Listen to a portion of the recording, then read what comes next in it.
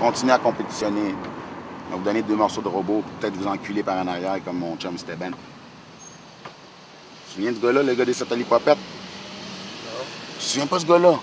Deux morceaux de robot. Ah oui, ok, ok, ok. Puis euh, Steban, son nom, je sais pas trop quoi, là. Puis il s'est fait pogner à molester, les gars. Il avait essayé de leur rentrer deux morceaux de robot à quelque part. Il a essayé de les molester, man. Il s'est fait pogner le molesteur.